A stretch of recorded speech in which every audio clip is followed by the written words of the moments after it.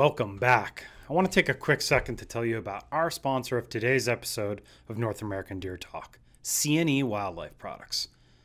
C&E Wildlife is a trusted leader in biotechnology for the cervid industry. They offer microencapsulated bacteria products that are research supported through Texas Tech University. With more than 30 years of experience and commitment to all natural probiotics, this product line continues to be a mainstay in herd management programs across North America. And the reason is simple they are passionate about the cervid industry. They have products for elk, whitetail, muleys, red deer, and more, with products ranging from Fawn Paste and Electromax to Guardian Plus, Whitetail Energy Pack, Jumpstart, or their ever popular Top Score Extreme. They just flat out work. We've been a C&E Wildlife product user for more than 15 years. To learn more about C&E Wildlife, check out episode 54 of North American Deer Talk, a probiotics masterclass with C&E owner Sadie Horrocks, and give her a call today to start using the products we do here. Hey, it's the Deer Wizard, host of North American Deer Talk. I want to tell you about a great new advertising and research platform that we've developed for you, CWDbreeding.com.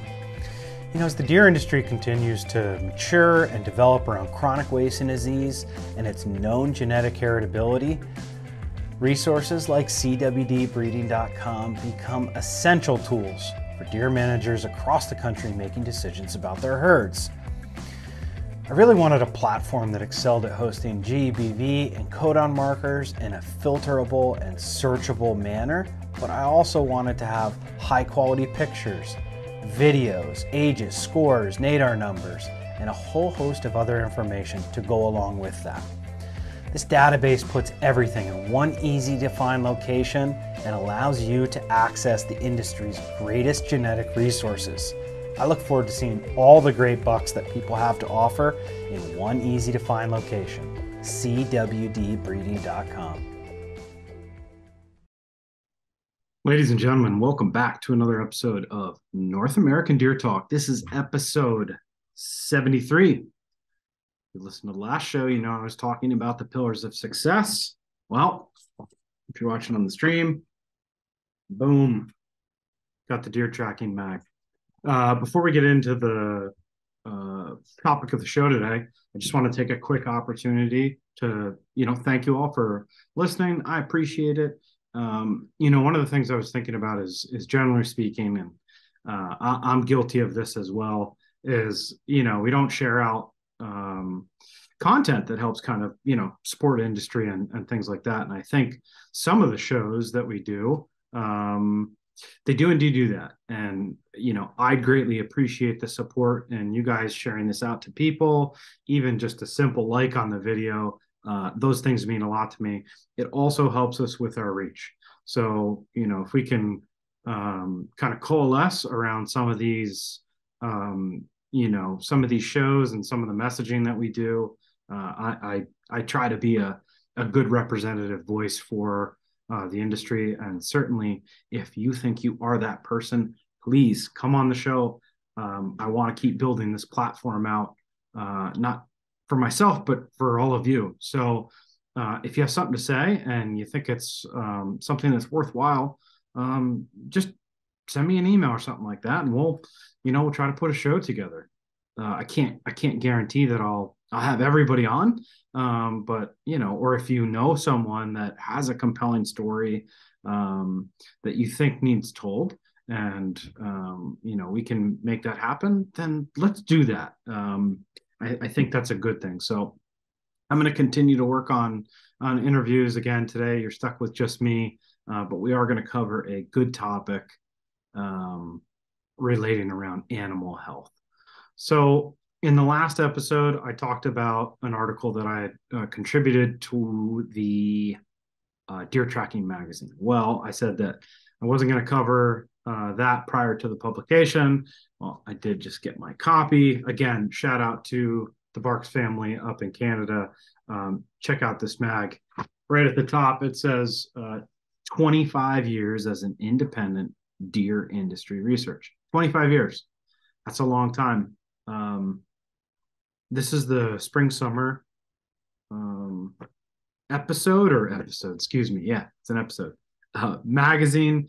It's got um, it's got some some good analysis analysis in there. Uh, there's a top 30 recap, which is uh, pretty detailed and interesting uh, that you should you should take a look at. And um,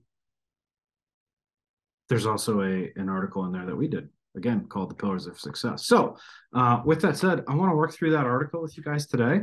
Um, if you want to read that get yourself a subscription to deer tracking. Uh, what does it say? Six six ninety five um, i forget what their yearly is. Um, i don't know. It's in the $20 range or $30 range. You get you know four copies or something like that. Um, well worth the the uh, the value that's provided in there and not only that it's it's entertaining. So if you're um, into deer like i know many of you are and and that kind of consumes your your life and your lifestyle uh, there's not a better magazine uh, today than than deer tracking. So um, check that out. It's deertracking.com anyway on to uh, this article. So when i when i first thought about this and you know i want i i enjoy I enjoy doing the kind of the health aspect of things. My favorite thing is is genetics, um, because it's more of a it's more of a an unknown.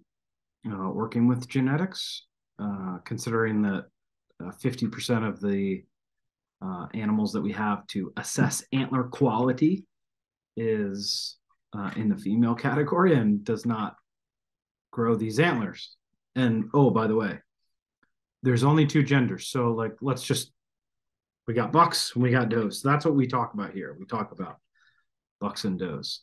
Um and not that antlers are the only thing we breed for because they're certainly not. And it's actually a recipe for disaster in my eyes just breeding for antlers.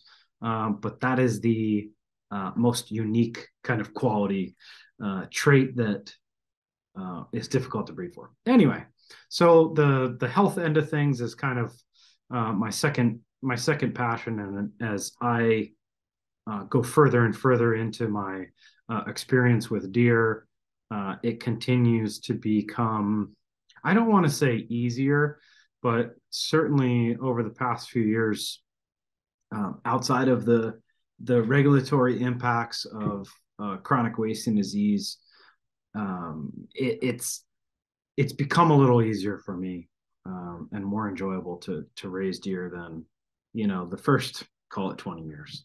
Um, not that I, I didn't have lots of fun and that that experience has certainly shaped me and molded me uh, into becoming a, a better manager of these animals. Um, the the health aspect is is kind of what I do for a living. So um, you know Cervid Solutions is obviously the uh, you know the impetus of this uh, this show, this North American Deer Talk show that we have, uh, and and it's just it's part of my it's part of my living, um, working on these these kind of health related ideas and concepts. Um, I, I, just it's it's something that, that I enjoy, and obviously it's incredibly important. Um, we do tend to overcomplicate things, I think, and uh, I thought that this particular article is a, a really s- kind of simple explanation of um, kind of the low hanging fruit or the three easy things that we can look at that help greatly improve the overall health of our herd. Uh, so we're going to run through those today. Um, I got the article in front of me on the screen. Uh, it's again, we're going to work through it, and uh, as I had mentioned before, I think we're going to do. I'll try to do um, a show on each one of these pillars. So uh, I start off by saying that I'm not a veterinarian. I don't have any formal education in deer management, and I am pretty stubborn. That sound familiar to you guys? Yeah, sure does. Uh, that's pretty much every deer farmer and rancher I know. Now we we cut our teeth on, you know, our experiences and and we try to learn from them. So when I reflect on on my journey that I have and I know that many have taken, I can't help but wonder why we choose to reinvent the wheel when it comes to raising deer. People have propagated livestock for thousands of years. And in today's world of limitless technology, you would think that we'd have the resources available to use on our path. Now, I'm coming into my 24th year of, uh, I call it uh, deer world or real world education. And I just wanted to share some of the things that I feel are the pillars of success. And this is specifically relating to the uh, general animal health. So, this is a big picture look. Uh, we're not going to get into too much nuanced detail, although I may go off the rails on on some of this, but we'll, we'll try to keep it um, kind of uh, high level. And and this is really and this is key. This is really what separates um, those that are good to those that are great. And I think if we simply look at you know cattle, sheep, goats, other livestock industries, that's where we can get our recipe. So I like to try to adapt these ideas and concepts to fit uh, our deer operations, and then I think we can be successful. So, pillar one, let's face it, you probably have too many deer. I think this is true for the overwhelming majority of the people that uh, I I talk with. It is, uh, and and it's tough to say, you know, what that appropriate level is, but I think generally speaking, you know, too many people have too many deer. So why do we feel the need to cram so many animals in a in a confined space? As time moves on, uh, I've I've come to realize that it it really is um, the limiting number of deer on any given pasture that is the most important thing to maintaining healthy animals. Healthy animals are a definition of success. And for the vast majority of us, creating fawns, which is the next generation, is the most profitable way to extract that income from our farms. So, what's a good starting point for answering uh, the question of how many deer is too many? That's the key. How many deer is too many? Well, uh, when I look at it, I look at mortality and morbidity rates, um, mortality being death, morbidity being sickness, and, and it's kind of an easy and known calculation. So the animals that express this the most are the fawns. Well, why is that? It's because when they enter the world, have a very naive immune system, and generally speaking, they have the highest chance of getting sick and or dying. So as a rule of thumb, I like to see four to six adult does per acre pre-fawning on fresh, if at all possible, winter rested pastures or at least minimally impacted pasture. Um, you know, you can start with higher animal numbers, but my experience just has led me to a place where if I violate those rules, I end up paying the price. So that's the kind of general overarching uh, view that I take on pen density and its importance. So four to six adults per acre, um, and that's always uh, pre-fawning. If you can get fresh and, and, rested pasture, that's awesome. If not, um, I, would I'd still try to maintain that space. And what that has provided me when I adhere to that strictly is almost no death and very minimal um, you know morbidity rates through our our animals. So again high level look at pillar one pen density. Pillar two vaccination program. I know this is coming from the guy that sells vaccines i do sell vaccines. Um, but i want to share just a, a quick story with you and you can draw your own conclusions from it. So uh, for the first 10 years, I was kind of like an anti vax kind of guy. Uh, I said things like, they're deer, they live in the wild, they're just fine, right? Or my favorite was, my deer don't get sick much. And if they do, I just give them some, some meds, right? And I think a lot of us are like, hey, we just deal with sick animals and, and we treat them uh, as time kind of went on and I had more animals on the same piece of ground for years and years, my bacterial problems continued to kind of slowly grow along with my herd inventory. So as herd inventory uh, increased, it also increased the bacterial problems that I experienced in these animals. So I decided to add some commercial uh, cattle vaccines to my health program, uh, which at that point really wasn't well defined. And I was less than satisfied with the results. So I kept saying to myself, uh, I wonder why these vaccines don't work. Such and such farmer uh, with way more experience than myself uh, uses them, told me they work great. I, as a uh, a method or a simple review with my herd vet about the coverage of these uh, specific vaccines, it just simply didn't match up with the bacteria that we were finding in our necropsy reports. And this was done through sampling and diagnostics.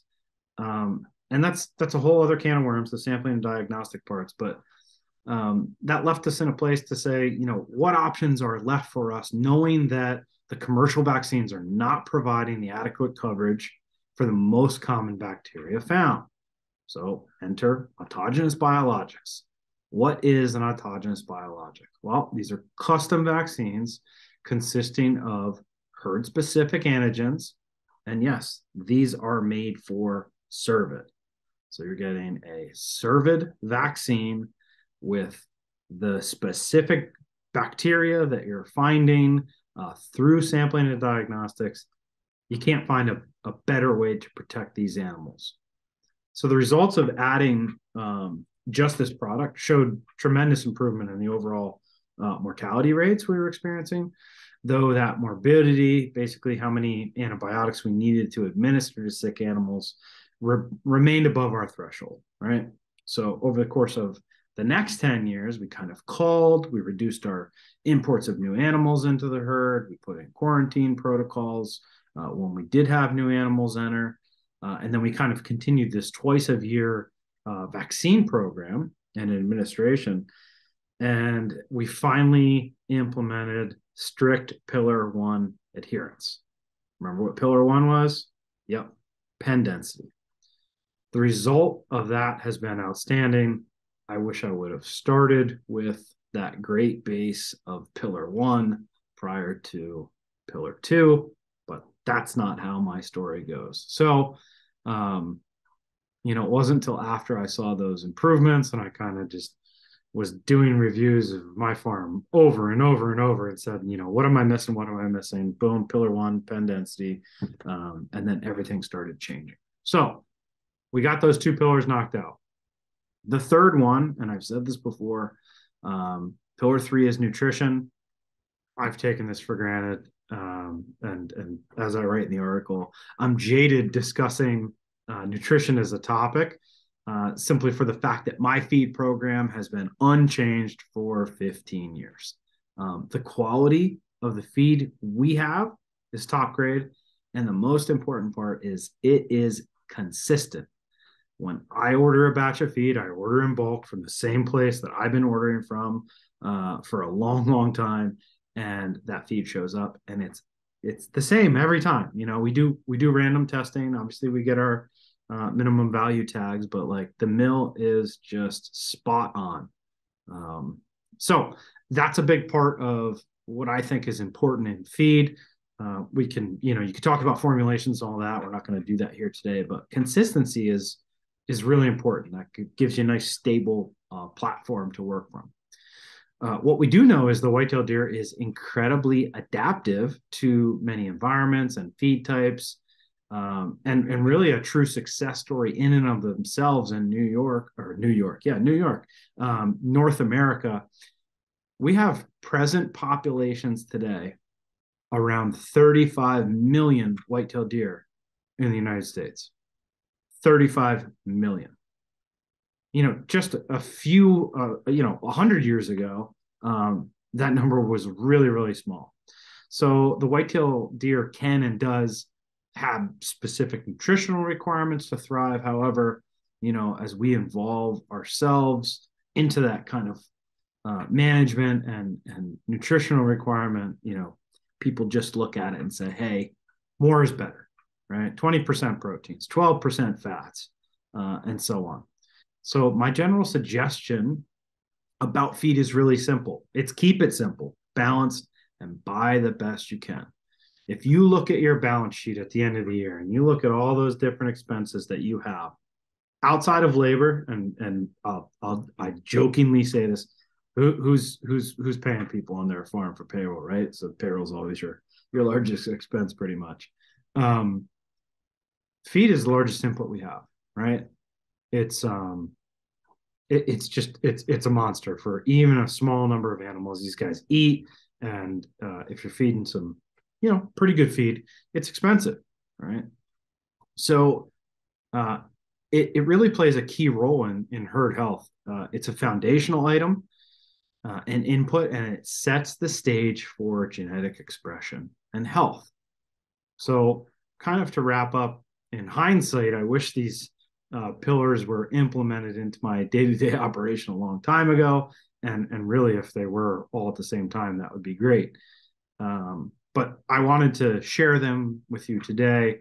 I think it it you know provides me great optimism for the future of the cervid industry. So that's the that's the uh, kind of part one of the the pillars of success. You can read the the whole article in uh, the deer tracking mag.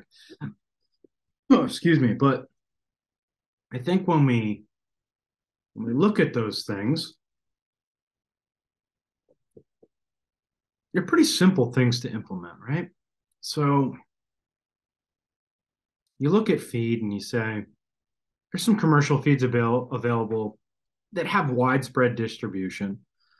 And um, while they may be expensive or, you know, quote unquote, out of your budget, um, they provide a pretty good nutritional quality and content. Um, you know, if you have a local mill, you may consider a custom uh, feed. You just you got to find a nutritionist that knows what they're doing. Um, my experience is nutritionists for deer are kind of few and far between. Um, and most of the good ones are kind of scooped up by the the large companies. But there are some there are some good ones out there, and um, that's something to consider. Uh, feed takes a long time to develop as as far as a custom ration goes. Um, you can get it pretty close, but you have to, you know, as you make changes, they have to be kind of limiting and incremental, and it takes time for those animals to adapt. So you can look at you can look at kind of growth rates, but you have to have some sort of metric. So scales are important as far as you know body weights go. Then there's the genetic component that you have to consider, and there's just there's a lot of you know there's a lot of things you can look at reproduction, like how many fawns are these guys giving out uh, per year on the doe side, how much antler growth are you getting, and it's it's a it, you can get really in depth and it can get really complicated um, and it's it's kind of tough to have a baseline to work from. But I think that there's there's enough good quality feeds out there that um, provide adequate nutrition. I, I've seen um, you know 400 inches of antler grown on uh, 12% protein.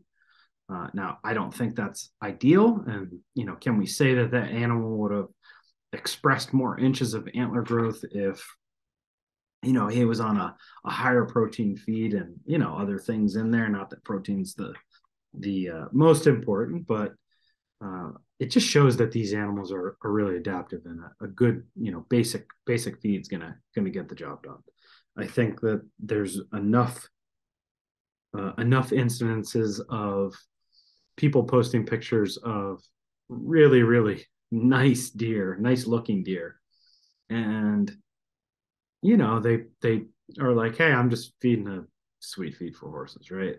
Um i i'm not personally into doing that. Like i like a deer specific feed but if those animals are performing and and you know you think the overall health of them is is good and you're meeting your performance goals and standards then have at it right um so that's kind of the that's the nutritional uh, side of things. And again, I'm not a nutritionist. I, I actually, I know very little about feed. Uh, I, I, I just take for granted that we have good feed and try to forget about it. Right. I just make sure that it gets mixed the same every time that I'm feeding them, you know, pretty much uh, on the same schedule, et cetera. And they eat the feed and they seem to do well. Um, on the, uh, on the pen density front, like it's like, yo, get less animals, right? That's such a simple concept. Um, now there are economic factors that that uh, play a part of that, and I, I've started having more of these discussions. At the end of the day, it's you know what is your what is your land consideration um, you know kind of what's your overall business plan? How many of these uh, animals do you need to raise or do you need to sell is a better better way to look at it. Um, to you know meet your uh, meet your needs economically or financially. Uh, can you do that on the piece of property you have. And then you know how far how far can you push things from a animal number side till you get some sort of event or collapse right? So i think i, I talked about this but like we're generally having a um, a pretty mild winter. Now uh, i'm looking outside. It's snowing. I like snow. I've stated this many times. I don't like um, you know greg leonard's south dakota um, uh, quantities of snow at least from this year. But i like snow cover throughout the winter uh, we haven't had it. So my pastures have been challenged. Now, I'm fortunate that I have my animal numbers pretty low for wintering, that my pastures aren't beat too much. Now, I'm starting to see the signs of that. You know, it's what are we at? It's, you know, middle of March anyway. And of course, the edges get beat up because those deer walk around the, the fence. Um, and the, the trails are getting worked down you know there's no there's no photosynthesis happening right now. Nothing's growing. Everything's dormant. You know this is not a southern climate where i live. Uh, we have winter. Things die off. And it, it has to get warmer for any type of regeneration to happen. So what you have going into fall is what's going to be there all all winter. Uh, if you go into fall overcrowded and things are beat up and muddy well you know, it's going to be a mess throughout the winter. And that's hard on animals. When those animals lay on bare ground, um, that's hard on them. When they lay on bare ground with no thatch or vegetation, that's hard on them. So those are things to to consider. You know, I'm I am trying to, you know, prepare for the worst, you know, kind of hope for the best. So, you know, my preparation is I'm I'm hoping that I look at my animal numbers and I say that they can handle these extreme events with the number of animals that are in specific pastures.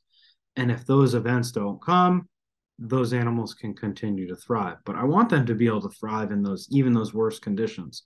Like they are, they are pretty robust animals. You know, I, I joked around um, joked around a lot, like you know, living like these whitetails are living every day to die, or trying to find a corner to die in, and like I'm just kind of moving away from that sort of rhetoric um, to say that you know these these animals are are robust, and when uh, well cared for and well maintained, there's not much that gets them down.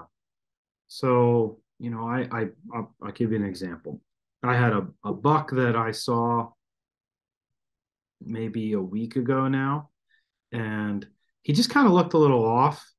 Didn't really know what was up, and so I kind of went over. I got him up. He had separated himself um, from the group, which obviously is always a, a, kind of telltale sign. It could have just been the time of day, but anyway, I was like, I'm gonna go over and check him out, and I went over, and he had some loose stool, so I kind of working around the pen, working around the pen, and I, you know, I found a, a cow flop, if you will. So you know you could see just uh, where the brown hair meets the the white on his his rump.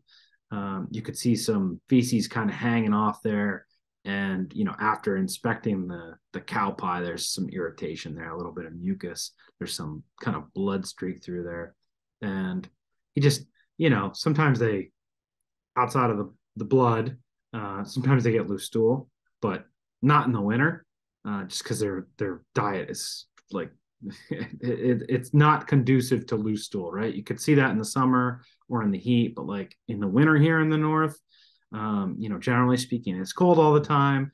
They're chewing bark off of trees and eating leaves, and yes, they eat hard feed, but it's in small quantities. You know, if these guys are eating, you know, one to two pounds a day as a, a maintenance on the, you know, the hard feed, that's probably about normal. They get their hay.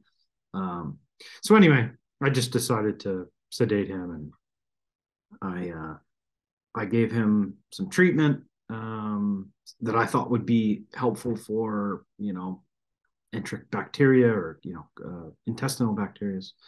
Um, gave him a little bit of warmer, uh, ran some fluids through him just to kind of tune him up, vitamins, etc. And then you know when when he was uh, waking up, we we gave some um, probiotic paste from C&E to him. So gave him a whole tube of uh, fawn paste, and then I gave him uh, a big tube of Electromax. And you know, within and and you know, I kind of cleaned his rump up a little bit. Um, within, you know, the first day he had uh, three more loose stools. So that was um, we moved him either Saturday or Sunday. Today's a Friday, so I think uh,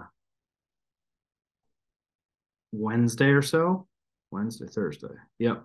Uh, Thursday, I couldn't. I, I can't distinguish his uh, fecal material from the other one. We we moved him so we could monitor him closely, um, and then uh, you know he seems, you know, great again. So there was a there was a an incidence where, in my opinion, you know, bear pens for long periods of time, um, you know those those pastures get beat down, and you know he's just picking at other deer's you know poop or whatever and um, you know, he got sick. Now I don't know exactly what caused that, but my my general protocol for you know adult deer with uh, loose stools like that is is you know pretty simple and basic, and uh, typically it works. So he's all cleaned up, back to go. He's I see him in the feeder. I see him chewing his cud, right? So he's acting like a normal deer. I'm gonna slide him right back in that pen, and you know I'll keep an eye on him, but he's fine. So, you know, that stuff happens. Um, now, what happens if there, you know, I got, I don't know, he's in a pen with 10 bucks, it's two acres. Um, they got plenty of room. Uh, I don't know, like, what happens if there's 20 bucks in there? Do, you know, do I have to do that two, three, four times? Um, I, I, just don't like handling my deer that much if I don't have to.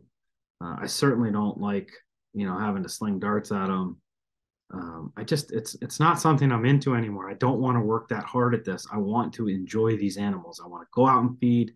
I want to do my health checks, and you know when I focus on health, it, it's yes, it's for adult deer, but like it's it's for fawns. Like I will spend time making sure my fawns are healthy because you know the likelihood that they get sick is much much higher than you know an adult deer. But you know we've got that kind of diet or you know, knock on wood, right? Um, because there is some luck involved in this game, but like we got that dialed in pretty good too. Um, it's just rare that I have to do anything with these fawns. So pen density is important. Of course, I said I was going to do a separate show. I feel like I'm doing that now. Um, anyway, the vaccines, if you want to know, um, you know, any additional info on on vaccines, I'm going to link a card right there. Um, and you can watch a whole show. The last show we did was on that, so check out that show. We cover, um, you know, all the phone, uh, all the uh, protocols, the general protocols for the vaccines, and some of the rationale uh, prior to spring. So, um, I hope you enjoyed this this show and and it was uh, somewhat meaningful for you as far as like how we look at the really basic things. You know, set yourself up for success by you know really looking at these these three things um, i'm gonna kind of think about some of this more and uh, i will share those those thoughts with you also you know take me up on on my offer if you um, if you know somebody or have somebody that you think would like to come on the show i really enjoy talking to other folks i think it's um, great for those that are watching or listening to hear other people's perspectives and you know listen to some folks chat uh, we do have the adifa conference coming up uh, if you're going, come say hi. I will be there. Um, thinking about doing some interviews in the booth. Uh, just kind of a, a, short, you know, maybe 15, 20 minute chat with somebody. Uh, so check that out. I think we'll wrap up there. And with that, stay tuned for another episode of North American Deer Talk.